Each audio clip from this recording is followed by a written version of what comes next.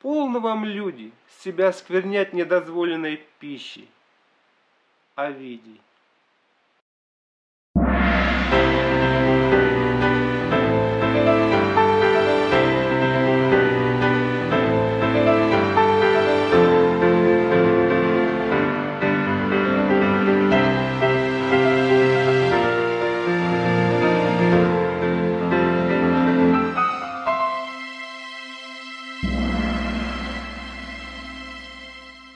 Сейчас повсеместно говорят о том, как приготовить нечто вкусное, необычное, экзотическое. Совершенно игнорируя о том, а полезно ли это будет для нашего с вами здоровья. Главное – вкусно поесть. Мы с вами будем говорить о том, как приготовить вкусное, а главное целебное блюдо, съев которое мы не только получим вкусовые ощущения, но также увеличим жизненный потенциал организма – укрепим свое здоровье и даже исцелимся от некоторых заболеваний. В эфире программа «Целебная кулинария» и ее ведущий Геннадий Малахов.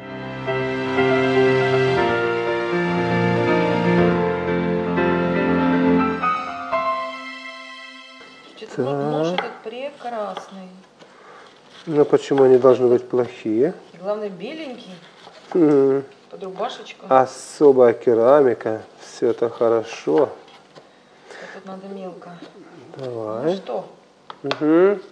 Самое время заняться целебной кулинарией. Я Геннадий Малахов, приветствую вас у экранов, а мою гостью Таню Ларич у себя на кухне. У нас сегодня в меню капустное блюдо, витаминный салат. Ну, по крайней мере, мы так нацелились. Э, А также все-таки получить вот этот ваш э, фирменный секрет Салата. салата, да, о котором Итак. уже слухи ходят. Мы делаем салат. Останкина. Я почистила морковку. Ну так, Мгм. терочка у вас, это чистилка симпатичная. Да-да-да-да. Салат делается очень просто. Мы берем капусточку. А, мы Смотрите. сделаем маленькую. Смотрите как. Давайте я это пока. Мы берем капусту. Вот у нас есть капуста. Свеженькая капуста. Берем терочку. Терочку возьмем не такую маленькую, а побольше. Можно вот такую взять или вот такую возьмем. То, что надо будет. И натираем все это на терочке. Берем и пошли.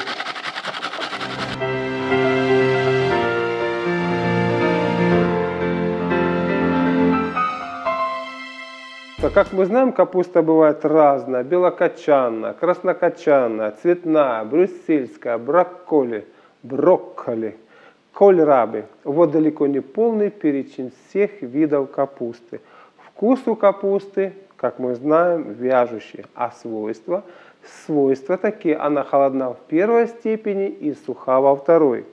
Действие. Действие на жизненные принципы. Увеличивает ветер, подавляет желчь и слизь. Она обладает размягчающими свойствами и сваривающими. Препятствует опьянению, полезно хмельному человеку.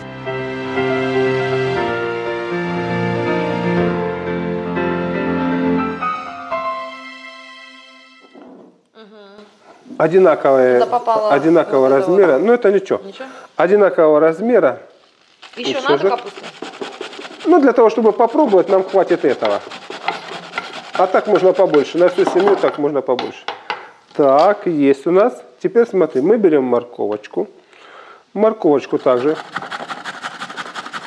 И ты любишь какую? Сладенькую. Да, Сладенькую. да, сладенькую, Смотри. но как бы чуть-чуть остренькую, так скажем. Ха-ха-ха. Но чуть-чуть остренькую. Смотрите, тогда для остроты мы добавим чуточек имбиря.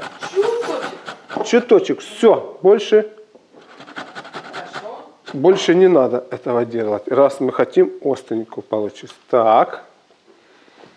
Теперь мы, мы можем добавить зелени, что у нас осталось сюда. Все это перемешиваем.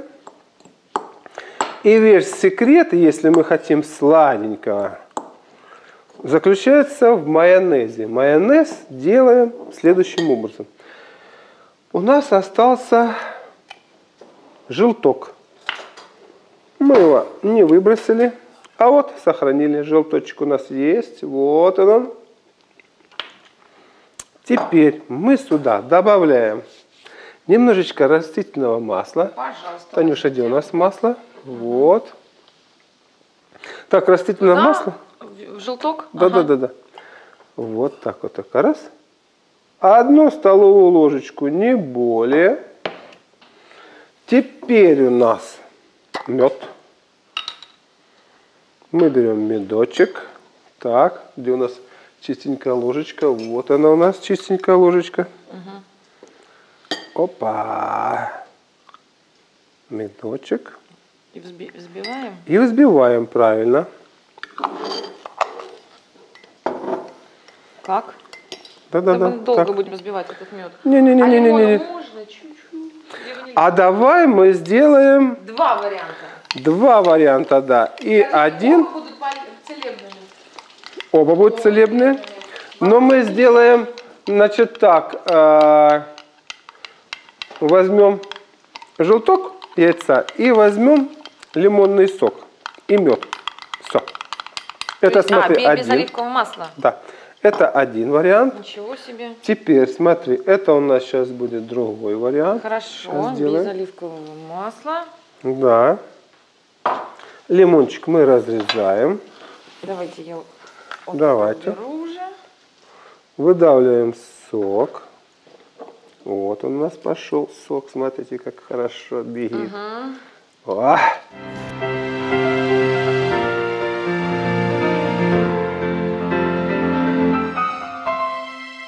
Сок белокочанной капусты. Самым ценным свойством капусты является высокое содержание в ней серы, хлора и йода. Соединение серы и хлора очищают слизистую оболочку желудка и кишечника.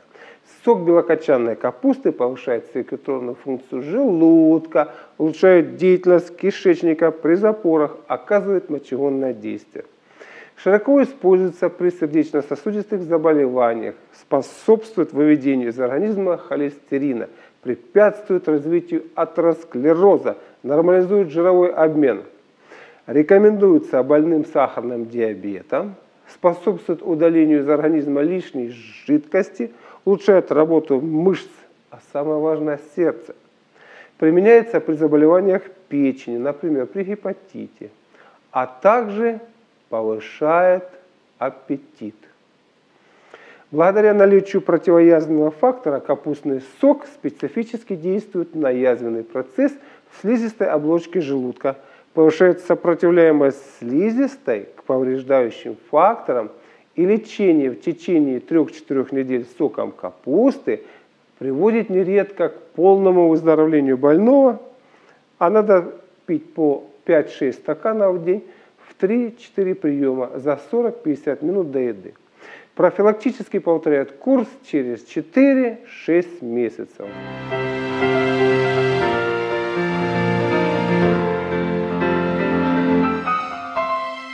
Почему нельзя вместе лимонный сок с оливковым маслом мешать? Нет, можно там мешать, но для того, чтобы у нас э, получился целебный продукт, то лучше всего особо его не мешать. Так, теперь мы сюда добавляем Все яйцо или тоже только желток? желток. Отделяем желточек. Вот, смотрите, как мы раз. И у нас получился вот желточек. Хоп, перелили. Все, у нас есть. Кстати, белок не выбрасываем, он подойдет. Так, и добавляем опять-таки меда. Мед у нас есть. Слушайте, а мне еще вопрос был про кочерышку. Что полезнее? Вот э, вообще в кочерышке, вроде как э, самом твердом месте капусты, э, должно собраться все полезное. И детям кочерышку дают. А сейчас я задумалась, может быть, э, в этой кочерышке наоборот собирается много ненужного? Вот какой вопрос. Но я думаю, что кочерышка особенно полезна, конечно, для того, чтобы жевать. И если капуста натуральная, то кочерышку обязательно едим.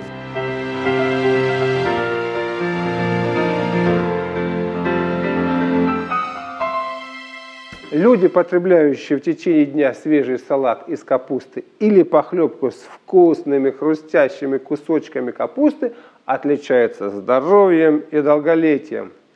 Употреблять капусту можно свежей, как самостоятельное блюдо или в смеси с другими овощами и даже фруктами, поскольку ее нежные листья, как и фрукты, перевариваются не дольше, чем полтора-два часа.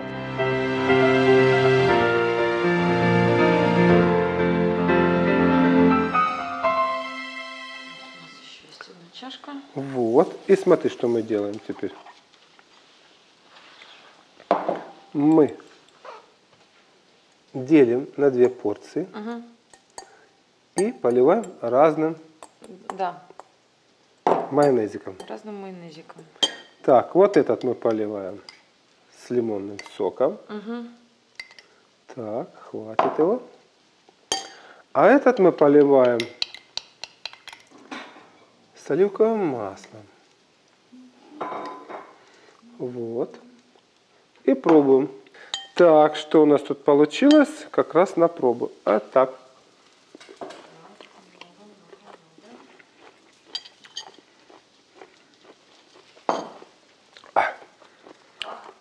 Сладкий с имбирьком. Очень приятный на вкус, лично для меня. Не знаю, как для Танюши. Ну-ка попробуй. Вот она твоя ложечка. Взяла. Да, вот отсюда вот. Где Попробуй. сладкий? Сладкий-то вот этот. Она и этот сладкий, и тот сладкий. Ну-ка. Покушай. Это сладкий. Этот сладкий. Да, и этот будет сладкий. Ну-ка. А вот этот уже то, что я хотела. Кисло-сладкий. Ну, а, яблочко еще сюда можно потереть. Можно. Как вариант. Прекрасный. Быстрый, прекрасный салат. И не надо никакого уксуса, не надо всю ночь ждать в холодильнике. Да. Вот кислый, вот, значит, сладкий. Может, чуть-чуть добавить. Это уже по желанию. Можно сюда добавить яблочко. Значит, когда мы с вами добавляем сюда еще яблочко, получается такое средство, которое будет еще хорошо восстанавливать нашу кровь. Дополнительно все эти пектины, которые здесь есть, в салатике Для будут крови, да, прекрасно. Да. Для крови полезно будет еще очищать наш организм. Вот. А там Ну, имбирь был? Вот здесь, да, немножко имбиря. Ой, как вкусно. Желток, лимон, Желток, лимон. мед. Да. Все. Если меда взять побольше, он будет слаже. Если лимона взять побольше, значит он будет более кислый. И вся разница. Слушайте, большое спасибо.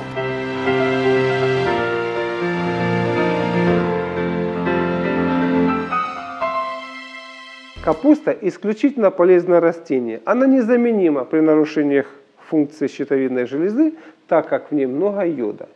И при недостаточности почек наличие меди делает ее целебной при поражении центральной нервной системы. И некоторые вещества особенно полезны при нарушениях жирового обмена. Замечено еще одно целебное свойство капусты и моркови. Эти овощи обладают противоязвенным фактором, способствующим быстрому излечению от язв желудочно-кишечного тракта. Капустные листья обладают интересной способностью. При нарушении их целостности в них образуется дополнительно витамин С. Вот почему его больше в квашеной капусте, чем в свежей. Запоминайте. Питательная ценность цветной капусты выше, чем белокочанной. И знаете почему? В ней богаче состав витаминов и минеральных веществ, способствующих углеводному и жировому обмену. А это значит, что с помощью капусты можно делаться стройным. А вот капуста брокколи по своему химическому составу и питательным свойствам превосходит другие виды капусты. В ней вдвое больше витамина С, нежели в цветной, и почти в 50 раз больше каротина, а из него в организме образуется витамин А. А по содержанию белка брокколи превосходит шпинат и спаржу. По количеству калия, магния и железа брюссельская капуста превосходит все другие виды капусты. Ее можно считать омолаживающим средством, предупреждающим развитие атеросклероза. Атеросклероз, как мы знаем, бич современного общества. Им страдают все. И самое важное, что эта болезнь молодеет.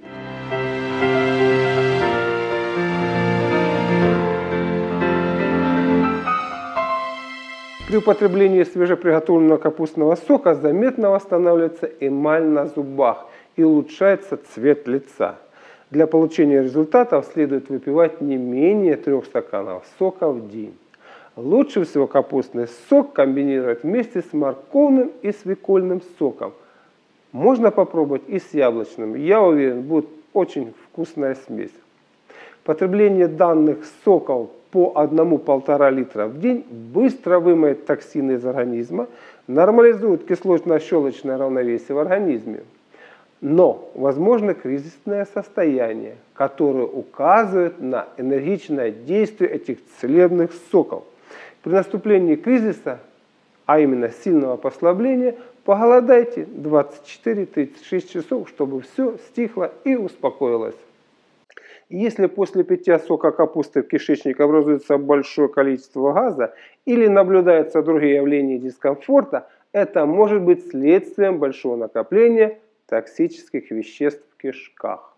В таких случаях рекомендуется перед употреблением большого количества сока капусты очистить желудочно-кишечный тракт, выпивая ежедневно морковный сок, либо смесь его с соком шпината в течение двух или трех недель. Одновременно с этим ежедневно выполняйте очистительные клизмы. Замечено, что когда организм нормально усваивает капустный сок, он действует как идеально очистительное средство, особенно при ожирении.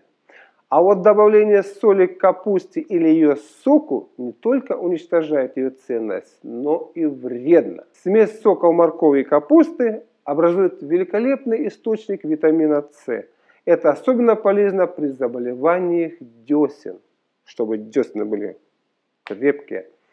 Пейте этот сок.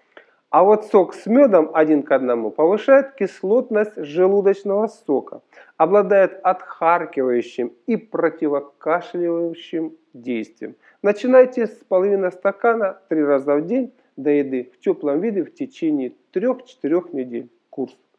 А вот при весеннем недомогании рекомендуется употреблять один стакан сока свежей или квашеной капусты натощак. В разведении один к одному пьют сок по 1 трети 1 четвертой стаканы за 30-40 минут до еды как сахаропонижающее средство. Диабетикам на заметку. Капустный сок можно пить с лимонным или гранатовым соком с медом, что делает его гораздо вкуснее. А вот наружно в виде примочек сок капустный эффективен при таких кожных заболеваниях, как экзема, псориаз, нейродермит. Его или свежие листья капусты можно прикладывать к вискам, затылку, лбу при головной боли, ожогах, ушибах подагрических болях или калачье в боку. Не рекомендуется его пить при высокой кислотности желудочного сока, симптомах перевозбуждения жизненного принципа ветра, когда могут быть газы, вздутие кишечника или понос. В этом случае сок капусты противопоказан. А вот сок капусты брокколи полезен при сахарном диабете, он переваривается и усваивается буквально за несколько минут, обогащая организм человека кальцием, натрием, хлором, калием, фосфором, магнием, серой, азотом, железом, кремнием, йодом, марганцем, кислородом, водородом, фтором, всеми этими биологически активными веществами в наилучшей, наиболее усваиваемой форме. Они жизненно необходимы каждому человеку. Данный сок содержит органическую воду, что чрезвычайно важно для восстановления в жаркое время года.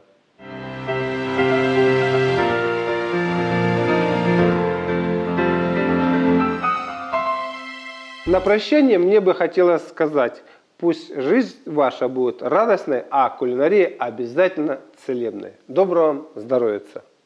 До свидания.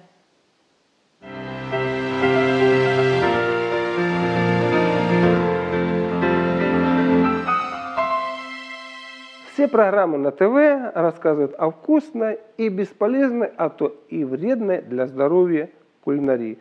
Только наша программа рассказывает о полезных свойствах продуктов – и целебной кухни. Пишите нам, присылайте свои рецепты, рассказывайте о том, как они вам помогли исцелиться. И помните заповедь древних врачевателей. Пусть лекарством будет пища, а пища лекарством. С вами была Целебная кулинария. До новых встреч!